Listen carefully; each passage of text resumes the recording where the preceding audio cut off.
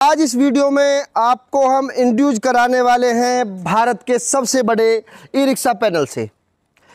इस e rickshaw panel की विशेषता ये है दोस्तों कि इस ई रिक्शा पैनल को अगर आप अपने ई रिक्शा पे लगा लेते हैं तो आपको रोज़ रोज़ बैटरी चार्ज करने की ज़रूरत नहीं पड़ेगी। आपने अगर लिथियम बैटरी इसमें लगा ली है तो आप पैनल लगा लेंगे और रेगुलर आप बिना चार्जिंग के आपका ई रिक्शा रेगुलर चलता रहेगा। आप चाहते हैं लॉन्ग रूट पे आपको जाना है ई रिक्शा से या इलेक्ट्रिक व्हीकल से, सबसे ज़्यादा जो समस्या है इलेक्ट्रिक व्हीकल्स में या ई रिक्शा में, वो ये है कि अभी जगह जगह चार्जिंग पॉइंट नहीं है। हम कहीं लॉन्ग रूट पे लेके अगर अपनी गाड़ी को निकल जाते हैं तो हमें समस्या आती है कि वहाँ चार्जिंग की दिक्कत हो जाती है, हर जगह हम ई रिक्शा को, अपने को चार्ज नहीं कर सकते। मानिए कि हम 200, 250, 300 किलोमीटर की रेंज में लेके निकल गए अपने ई रिक्शा को तो वहाँ हमें चार्जिंग नहीं मिलने वाली है या तो हम पैदल खींच के लाएँगे या किसी वाहन के पीछे बाँध के लाने पड़ता है हमें।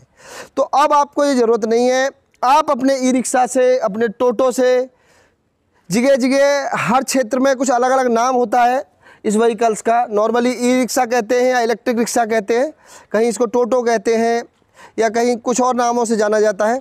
तो अपने इलेक्ट्रिक व्हीकल्स को अब आपको बार बार चार्जिंग के झंझट से घबराने की ज़रूरत नहीं है। एक बार लेके आप भारत भ्रमण कर सकते हैं अपनी गाड़ी के साथ। पूरे भारत में आप घूम सकते हैं अपनी गाड़ी को लेके।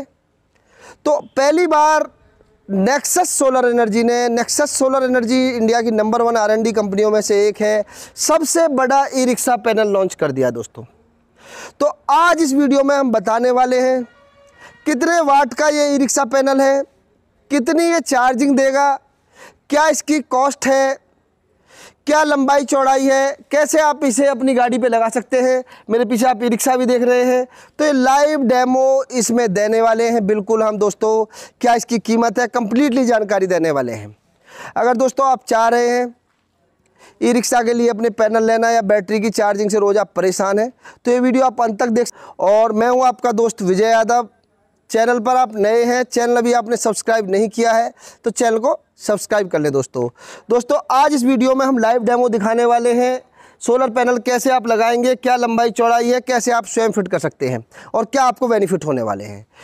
पैनल की अनबॉक्सिंग भी करेंगे, पूरी कंप्लीटली जानकारी देने वाले हैं। नई टेक्नोलॉजी का पैनल है, इसके अंदर जो सेल है, वो स्पेशल सेल है और इसकी जो टेक्नोलॉजी है, वो स्पेशल है। बाईफेशियल टेक्नोलॉजी दी गई है, उसके कुछ हेडन फीचर्स हैं। तो वो पूरे फीचर्स आज आपको इस वीडियो में बताने वाला हूँ दोस्तों। दोस्तों, पहले हम अनबॉक्सिंग करते हैं इस पैनल की।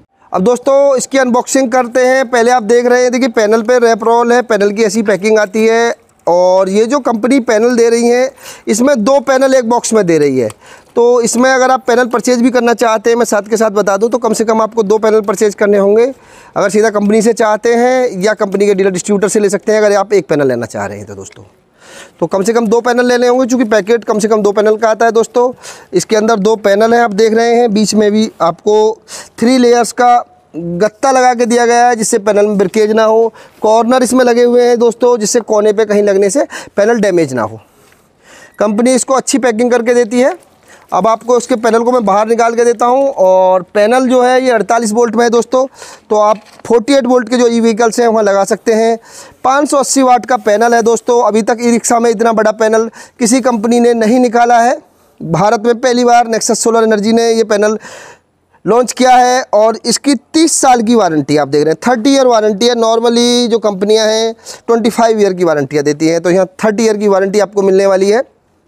और इंडिया की मोस्ट आरएनडी कंपनियों में से एक नेक्सस सोलर एनर्जी का ये बना हुआ पैनल है दोस्तों। तो अभी हम इसको बाहर करके दिखाते हैं पैनल को आपको। इस पैनल में कुछ स्पेशल टेक्नोलॉजी का उपयोग किया गया है। और पैनल आप देख रहे हैं, बाहर आ रहा है। पैनल के अंदर जो सेल है, आप देख रहे हैं टेन वस वायर है इसमें दोस्तों। तो इसके अंदर स्पेशल टेक्नोलॉजी का प्रयोग किया गया है स्पेशल सेल का प्रयोग किया गया है, जिससे ई रिक्शा वाले जो भाई हैं, वो उनको बार बार चार्जिंग ना करना पड़े। अभी तक कंपनी पहले भी रिक्शा पैनल बनाती थी, पर इतने बड़े साइज़ का पहली बार बनाया है। अभी तक 420 वाट तक के रिक्शा पैनल कंपनी बना रही थी, लेकिन ये पहली बार 580 वाट का रिक्शा पैनल बनाया है। और इस जो पैनल की विशेषता है, वो ये है दोस्तों, आप देख रहे हैं, ये पैनल के अंदर सेल होता है, और सेल में जो देख रहे हैं आप, बसवार की बात कर रहे हैं हम, ये टेन बसवायर है, टेन बी यानी कि एक दो, तीन, चार, पाँच, छः, सात, आठ, नौ, दस। ये दस बस वायर बार दस बस वायर का सेल है। मोनोपर्क सेल है दोस्तों हाफ़ कट में। और इसका विशेष जो फीचर्स है वो मैं आपको दिखाऊँ पैनल के बैक साइड से। ये रिक्शा पैनल में पहली बार बायोफेशियल पैनल भी है। इसके भी कुछ एडवांस फीचर हैं। उनके बारे में भी हम जानकारियाँ देंगे नेक्स्ट वीडियो में। चूँकि वीडियो लंबा हो जाता है। पहले मैं आपकी इसकी मोटाई दिखा दूँ।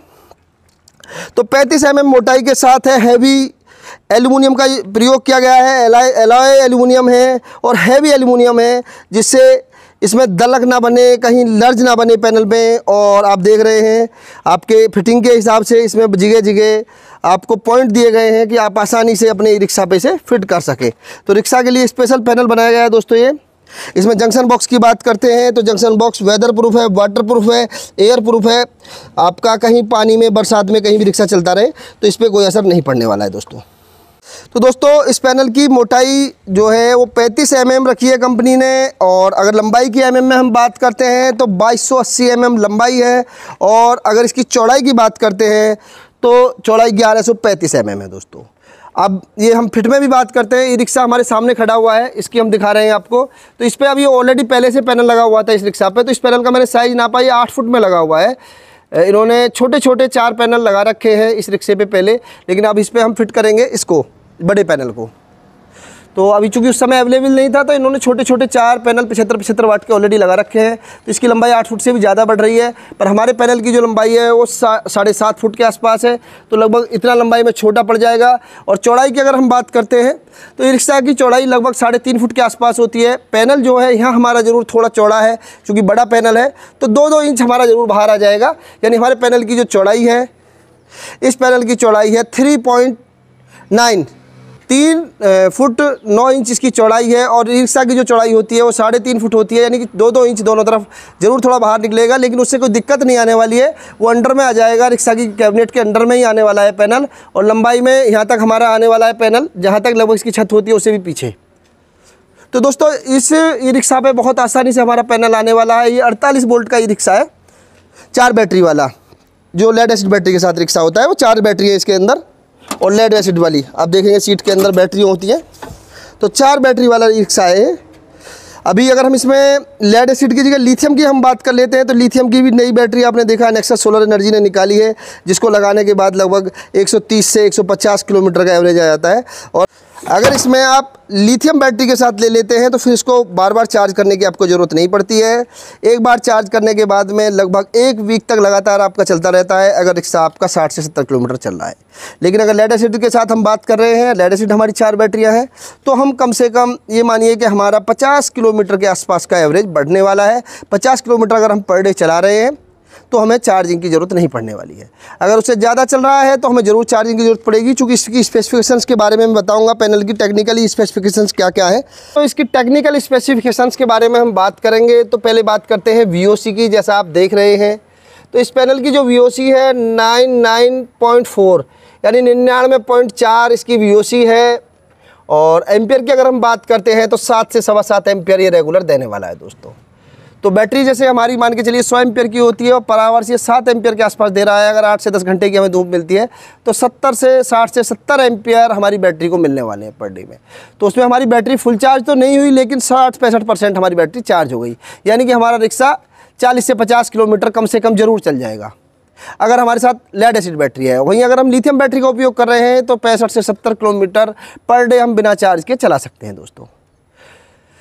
दोस्तों, साथ के साथ इसकी कॉस्ट की भी हम बात कर लें, चूँकि कॉस्ट ज़्यादा महत्वपूर्ण होती है आप लोगों के लिए। अगर कॉस्ट की हम इसकी बात करते हैं तो इसमें एडवांस टेक्नोलॉजी आप देख रहे हैं, जैसे पीछे हूँ मैं पैनल के तो ये बाईफेशियल पैनल है। और आगे मैं बात कर रहा हूँ तो इसके अंदर ये हाई एडवांस टेक्नोलॉजी का सेल है, जो आपका चलते समय रिक्शा पर भी पैनल चार्ज होता रहेगा बैटरी को चार्ज करता रहेगा चलते समय भी। और जब खड़ा होगा रिक्शा तो उस समय और ज़्यादा तेज़ी से चार्ज करेगा। लेकिन अगर रिक्शा हमारा चल भी रहा है तो उस समय भी ये जो सेल है, ये चार्जिंग देने वाला है, ये पैनल चार्जिंग देने वाला है। तो इसकी कीमत की अगर हम बात करते हैं तो इसकी कीमत दोस्तों, अभी कंपनी ने रखी है छब्बीस हज़ार रुपये विद टैक्स इसकी कीमत है। तो आप कंपनी के डीलर, डिस्ट्रीब्यूटर से या कसीदा कंपनी से ये पैनल परचेज कर सकते हैं। तो परचेज करने के लिए आपको कहाँ जाना है? कंपनी की वेबसाइट है W W W dot Nexus solar energy dot in वहाँ जाके सीधा इसे आप परचेज कर सकते हैं। या कंपनी के डीलर, डिस्ट्रीब्यूटर हैं, लोकेटर के माध्यम से उनका एड्रेस ले सकते हैं। अगर आपको सिंगल पैनल लेना है तो डीलर, डिस्ट्रीब्यूटर से आप ले सकते हैं। आप चाह रहे हैं दो पैनल या उससे ज़्यादा तो आप सीधा कंपनी से भी बिलिंग करा सकते हैं। कंपनी मिनिमम मैंने बताया वीडियो के शुरू में दो पैनल कम से कम देगी क्योंकि सिंगल पैनल को ट्रांसपोर्टेशन में टूटने का चांस रहता है दोस्तों, चूँकि पैकेट जो है वो दो पैनल का है मिनिमम तो आप ये ले सकते हैं दोस्तों। अब इसकी मैंने साइज़ की बात बता दी, आपको लगाना कैसे इंस्टॉल कैसे करना है?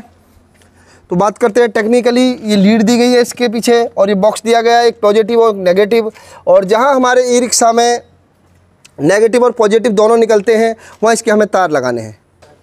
देखिए दोस्तों, अब ये चूँकि मैंने बताया चार बैटरी का रिक्शा है, इसमें चारों बैटरी दो बैटरी पिछले बॉक्स में है आपकी और दो बैटरी इस बॉक्स में है। और इस बॉक्स में दो बैटरी बन के यहाँ हमारा 48 वोल्ट बन रहा है। आप देख रहे हैं, ये 48 वोल्ट बन गया। चारों बैटरियों का बन के 48 वोल्ट यहाँ आ गया है।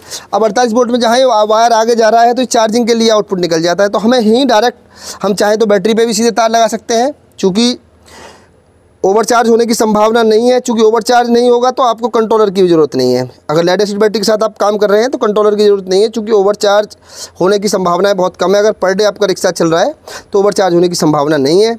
लेकिन अगर आपका रिक्शा चलता नहीं है, वीक में एक दिन चलता है और रेगुलर धूप में खड़ा रहता है तो आप कंट्रोलर लगा सकते हैं दोस्तों, जिससे बैटरी ओवरचार्ज ना हो। लिथियम के साथ आप कर रहे हैं तो आप कंट्रोलर लगा सकते हैं। अगर आपका रिक्शा कम चलता है, वहाँ भी अगर पर डे आपका रिक्शा चलता है तो आप बिना कंट्रोलर के भी सीधा इसको बैटरी पे लगा सकते हैं, क्योंकि बैटरी के अंदर बीएमएस होता है।